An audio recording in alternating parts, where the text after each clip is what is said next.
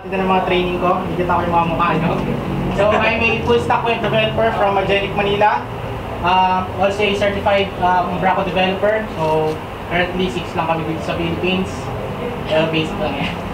Um, so, if you need to, uh, want to get in touch with me, um, Facebook. So, marami dito mga nag-message Facebook pag may mga question related sa buhay-buhay, Angular. Yan. Marami yung mga yun nandyan.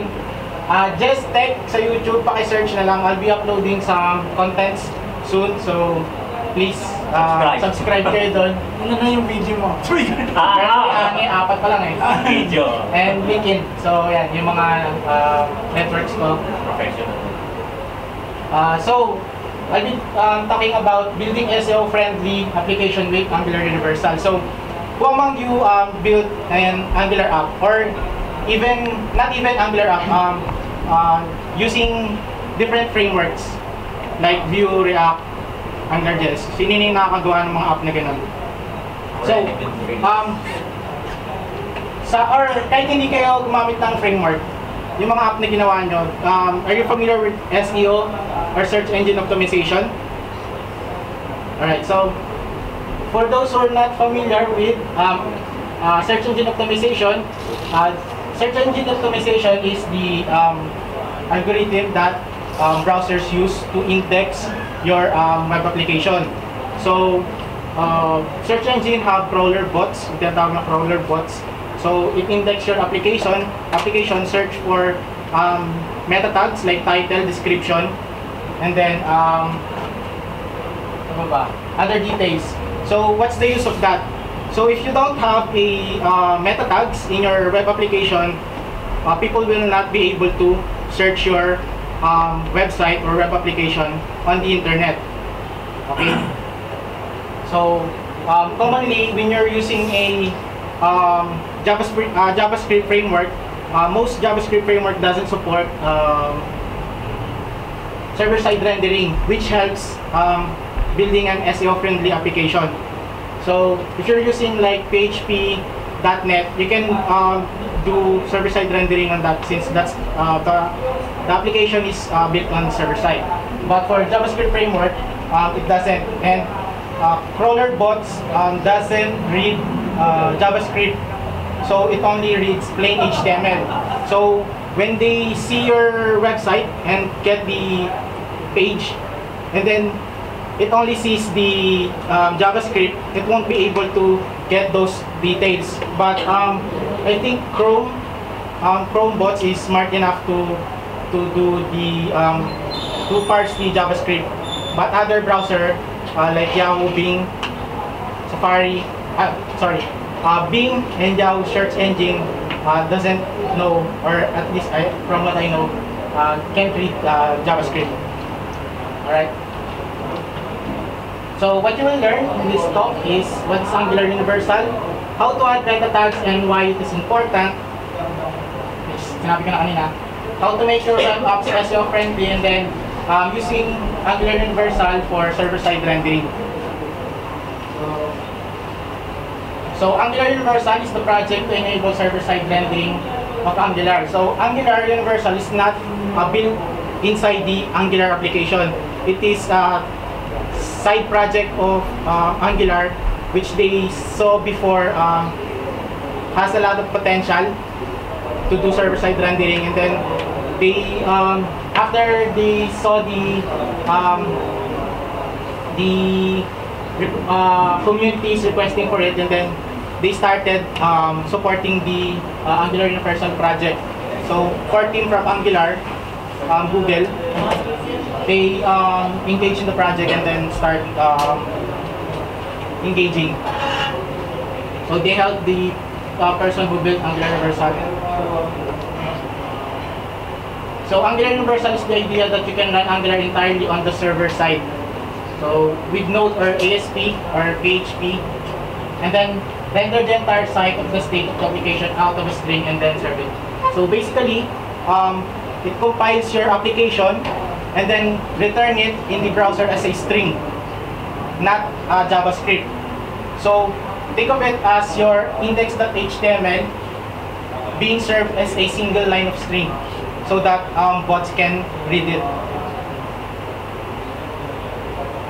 So yeah, it is updated to make all the static things in the rendered HTML live and interactive. So Angular Universal uh, allows you to do server-side rendering, optimized for search engine, and then scrapers. So, alam niyo ba yung scrapers?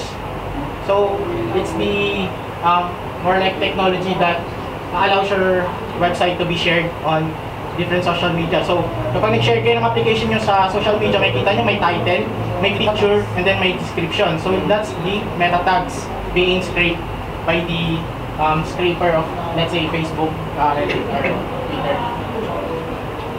So if you don't, I'll show a sample later um, app without meta tags and app with meta tags. So perceived load time um, benefits other than um, SEO, um, SEO search engine um, optimized application, other than scrapers.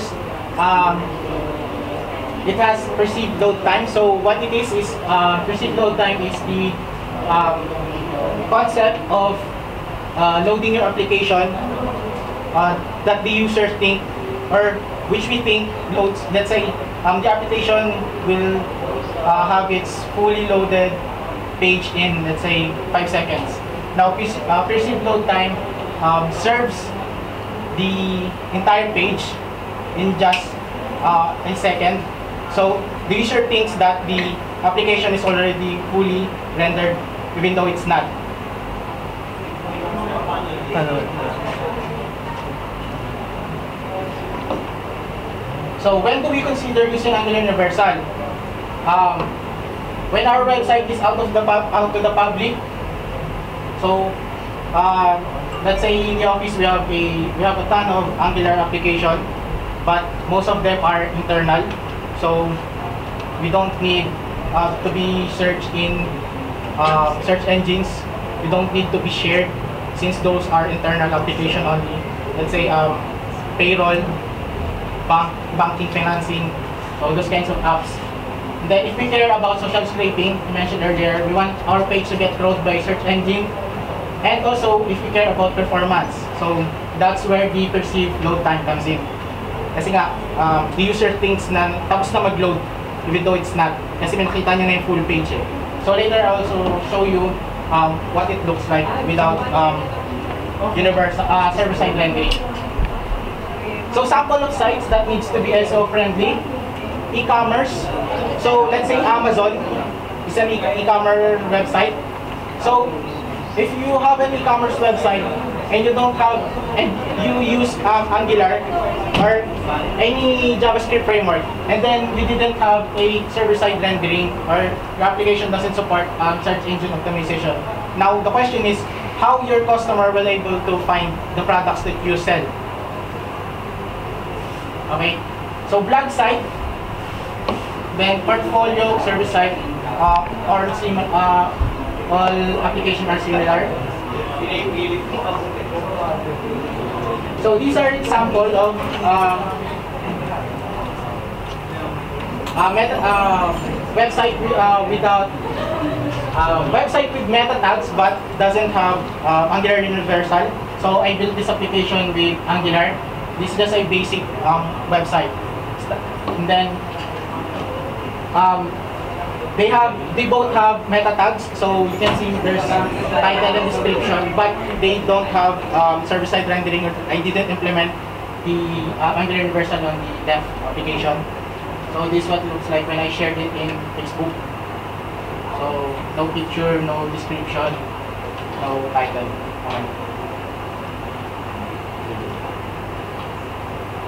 So meta tags, meta tags are meta elements are typically used to specify page description, keywords, author of the document, uh, last modified and other metadata. But the commonly used are, or what's important is the title description.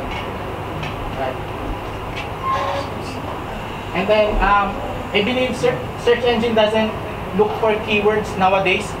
Back, back in the day, uh, let's say when the internet's just young, uh, around let's say 2000, early 2000. So everyone's um, been using keywords. So if you're familiar with keywords uh, and then you view source the application, you'll see that there's a ton of keywords in there. Uh, key, uh, even though the keywords isn't really related to the uh, website itself. So let's say uh, I have an e-commerce site, right? And then uh, before, um, people just keep putting a lot of keywords like anime or what's trending. So when they search in the um, search engine, uh, their site will pop up even though the user search for anime and then your site is an e-commerce e-commerce site but since your site have a keyword for anime um, there's likely that the um, website will show up in the list so um, I think 2010 onwards um, search engine doesn't really look at keywords anymore because of that the keyword abuse so the important is title and description So meta tags in Angular is a service that can be used to get and add meta tags. So it was included in the um, Angular 4 major release. So before in Angular version 2, um, we need to, we don't have the meta tags built in. So we have to create our service ourselves just to put a title and description to make it dynamic. So here's a sample of meta tags. Um, you can search the meta tags in Angular in the official Angular document, which explain it also explains there uh, how to um, use it. But uh, I don't really use add and update. I don't um, use the other because um, I don't automatically update the tags whenever the user change the routes. Um, sample setup. So you get the so you get the um, meta and title from the platform browser, which is already built in um, the Angular core. And then how to use it is just um, add the title and meta in the constructor. And then for title, you can use set title. And then for tags, you can use add tags. Excuse me. But um, now I only use, uh, I think, update tags because um, or if you keep using add tags, it'll just duplicate the um, the content. Let's say author, then I use add tags again. Uh, it just create two authors with the same data. So now I just use um, update tags and then the meta tag service is smart enough to know that it already exists and then just update one. So just that's the basic um, setup. So normally I put it in the constructor. Um, so that the once the component is loaded, the data will also be included in the HTML. And then, um, so there's a rule of thumb between um, constructor and um, ngOnInit. So if it's um, very light um, load, you can add it in the constructor. But if it's something like that gets data from the database or an API, which takes um, a lot of time and um, service, then uh, put it in the uh, engine unit. Uh,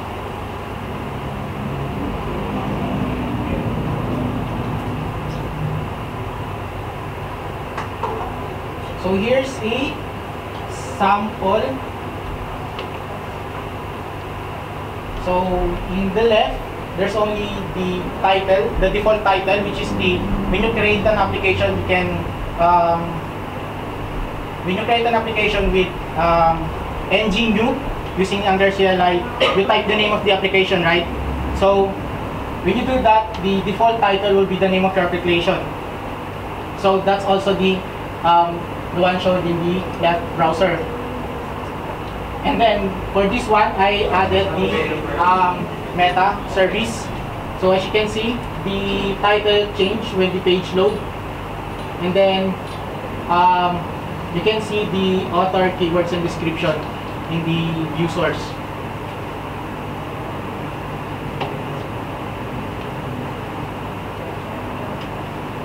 So, um, and then, um, also, um, the Angular Universal has a, um, I think, library inside it which is called Preboot.js. Um, Preboot, what Preboot does is, it records all the user interaction from your application. So, like what I said earlier, um, when you use Angular Universal, the application will load for the first time. And then it perceives the user that the application already loads completely, but it doesn't. So um, pre-boot records all the user interaction. Let's say um, the user click um, the button or type a search in your search um, button. And then once the application completes um, loading, then the pre-boot will um, replay all those actions to actually apply it to your application. So that's what pre-boot just uh, pre-boot JS does. Bilis ba? May nakuha po kayo? Mm. I'll be asking a lot of questions later, so Ah, please prepare. yan. Okay. Baka yung babawi dun sa mga hindi nagtanong. so, um, just a quick preview on how to set up server-side rendering. I'll also do a live, live coding later. But just to replicate this, uh, so if you're using server-side rendering, um, by default already your application should already have a browser module. Um, you just have to add the with server transition and then you can put any text here. So um, for me, I always use the application name, but you can definitely put anything there. Um, what it does is it tells that your application uses server-side rendering. So, um, for those not who are not familiar, um, when you use Angular CLI, it, it already has a app.module.ts. Uh, when you see um, CJ's sample earlier. But now, you need to create a separate one for the server-side rendering. So, it sits in the same folder as the app module. So, app slash app server.module.ts. So, the content is similar from your app module, but it only has um, two imports. So, the app module and the server module, which will create later. And then the entry point, which is the app component. So, pretty same with the default app module. And then, um, if your application uses um, lazy load, um, you need to add the module map loader module so that the um, server-side rendering knows um, the the component to load for lazy loading. So for those who's not familiar with lazy loading, um, you see the router that CJ created earlier, right? So I'll show you an example.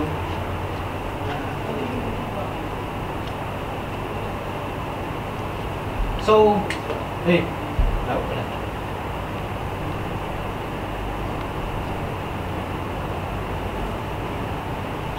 Di tayo sa likod. Alright.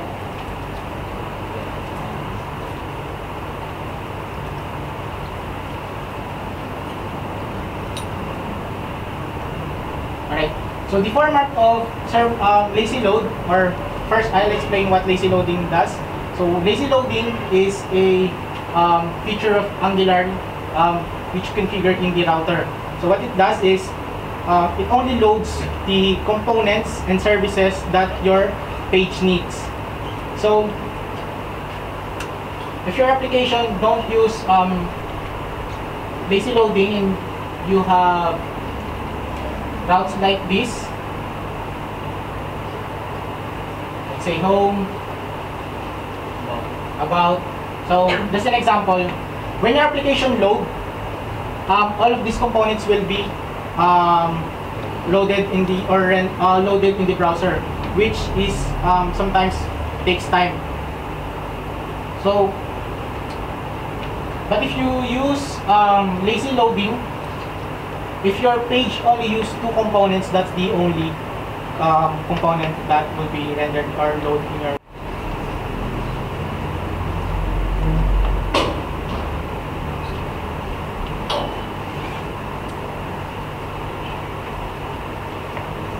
para mabilis,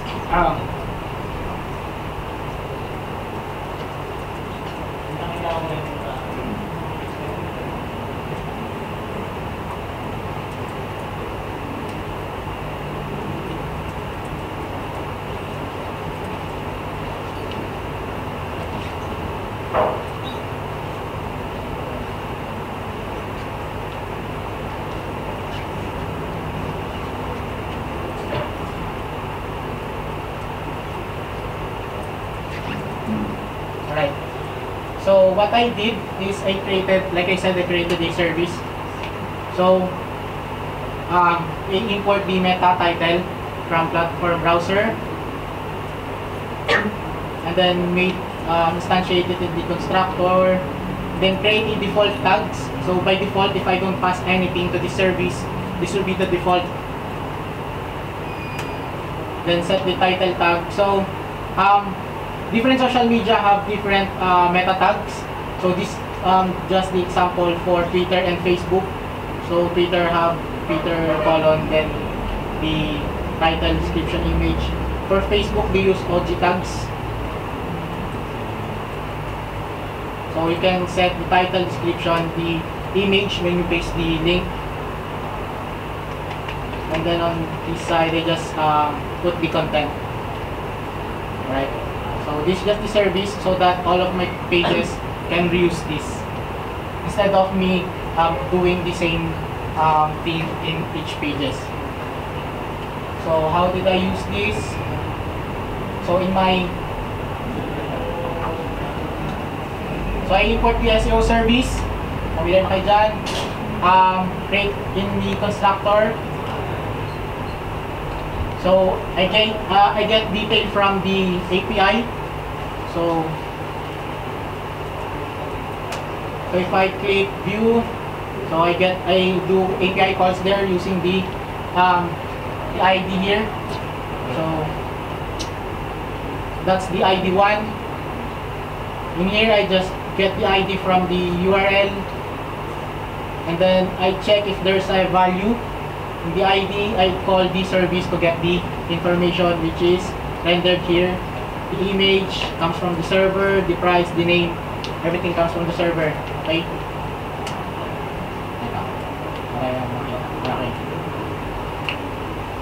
and then once there's data from the API I just pass the um, the data to the tags. So, the SEO service, okay? So, right now I only have um, title, description, and image, but I can add other things like Jess, if there's a social media that looking for Jess, so I can do that, and then it will auto automatically apply in the um, content. So, for now, this is what we will be using. So, that's the basic application of the service.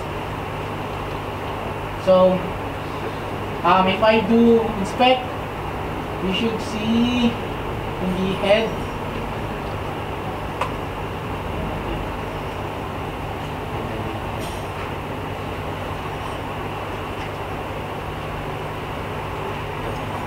Ito na. Ayan. So, you see this. Uh, the meta. So, the Twitter. Then, if I go to home, you should render the default. So, server side up, the default. Then, again, no content on the other tags. Right? So, basic application.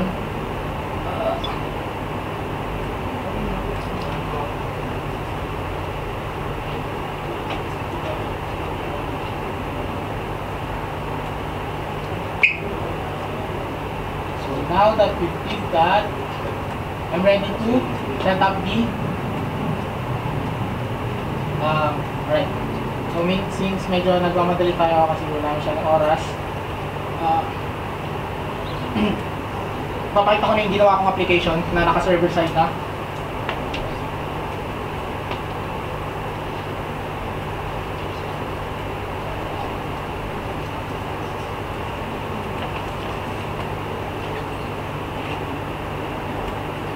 Oh. Ganda. Para same tayo. Okay.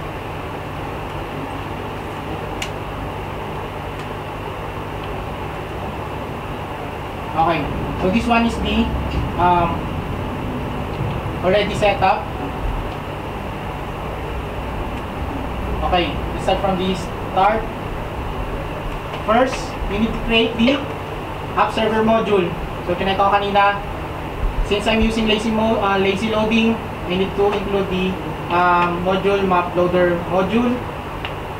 And then next is the um, main app module. So before the default is just this maliit.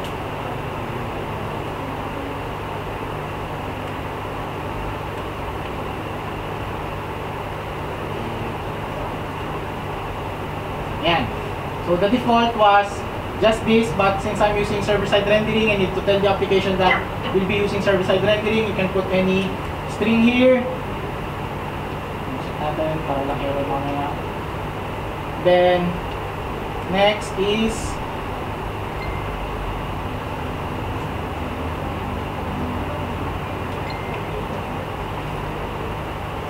So like I said earlier, we already have a default when you create the application, main TS, but we need to create a um, app server for our main.server.ts for our server-side rendering which will be used later in the config. Ko kanina. So, yan yung mga kailangan tandaan. Then, the default um, PS config So uses our main application uses ES 2015 for compiling our application. Um, server-side rendering or which will be using Node.js will be using CommonJS for compiling which is in uh, UMD I format. Then um, the difference is I only added entry module here so to bootstrap the application that will be using app server module. So pretty much all the settings I made here will be the same as yours. Uh, after that, need to go to angular.json.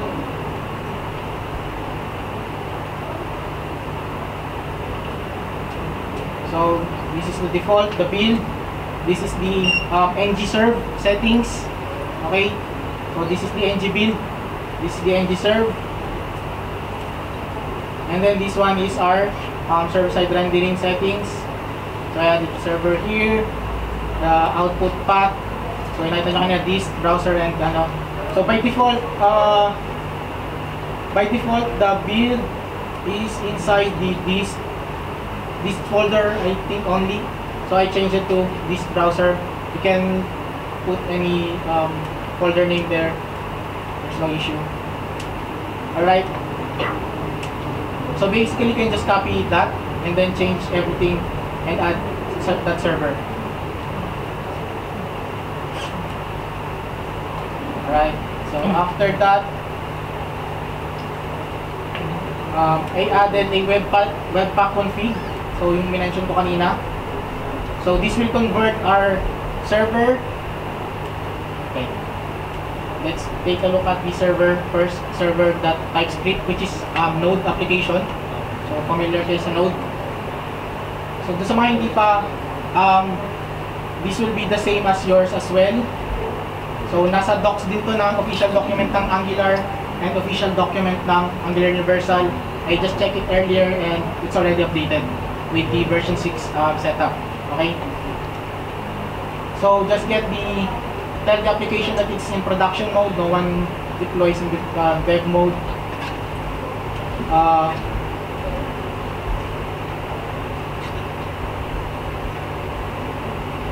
this is the lazy, uh, lazy loaded uh, module mapping. So nakapat lang yung sa folder.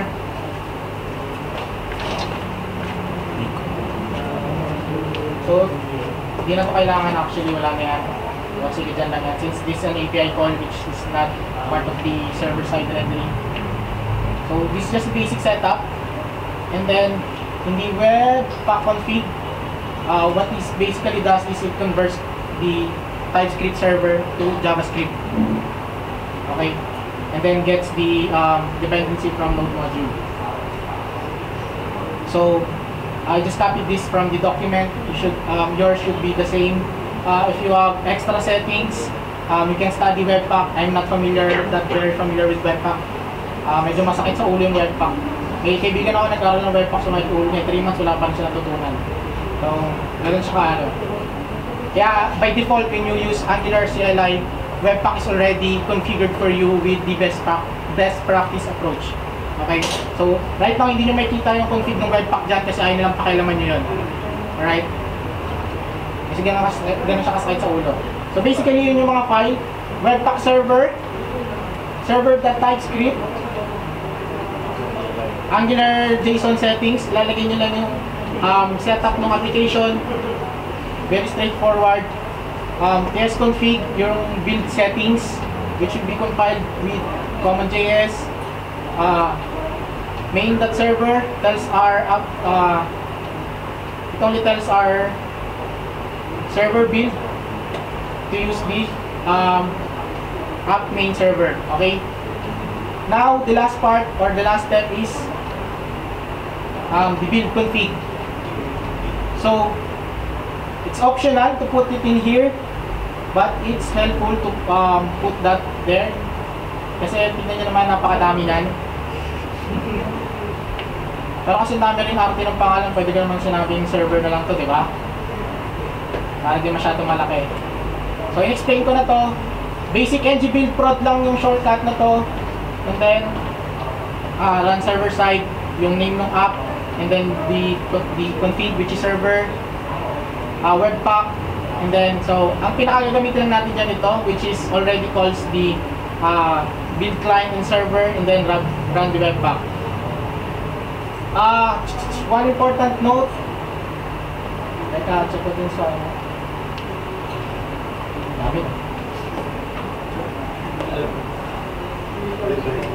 Yan na lang.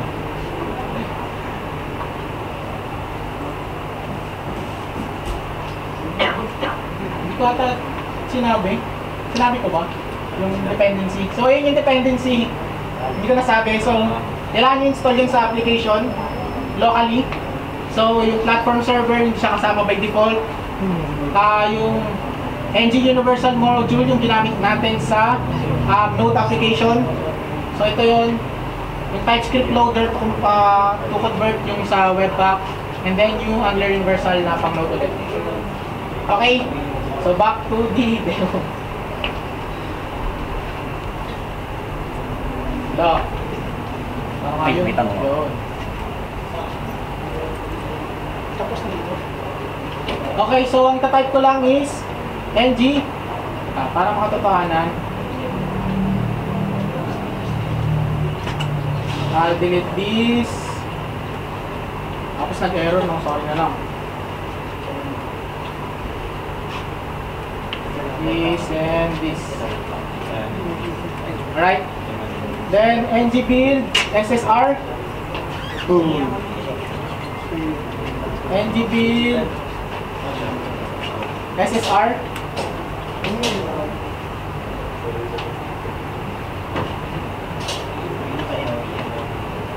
Ay, sorry.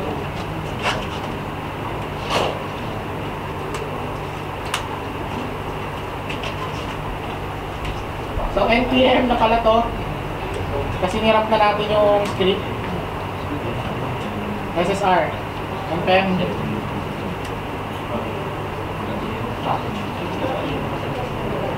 basically, tiran nyo lang yung commands na nalagay natin doon sa script. Kaysa i-type natin yung isa-isa. Pwede nyo naman gawin na, save nyo sa note. So, habang nag-build dyan, dapat nag-create ka ng folder dito. So, browser, tapos na siya mag-build for client side. Bibuild siya ngayon for um, server side. Dapat.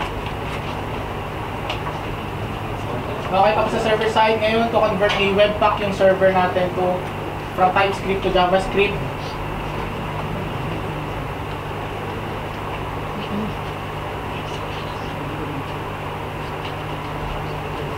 So, ayun na yun ito yung babasahin ng application nyo. Next is yung script natin para ma-run yung application using server-side rendering na. So, npm run ulit serve SSR. So, kung walang error yung sa inyo, uh, nakalagay dyan is node server listening to port 4000.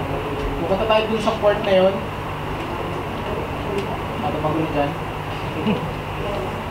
Ano tayo? Localhost port 1000.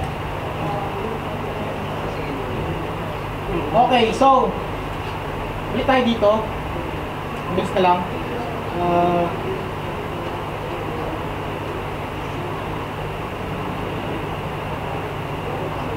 how to verify if your application is SSR ready? First, um, check nyo muna if running yung app after ng build, which is na nakita na natin. Next is control U to view source. So, gawin natin yung sabi niya. So, pag in-inspect element natin yan, ah, uh, dito tayo para medyo makatotohan. So, ayan, eh, ito na. Ayan.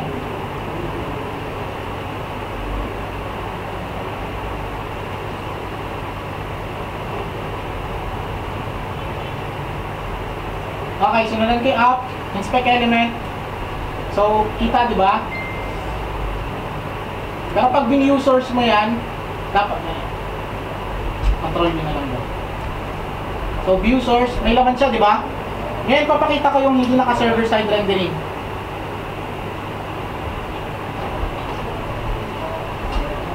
Parang ah, bilis lang to. sa kung naka-live siya talaga guys, makikita nyo na naka-ready na, kompleto na. And then, makikita nyo malaking blanco hanggang sa matapos yung app. mag stop yun na mabilis na hindi mapapansin ng mga user, tsaka yung ipapakita.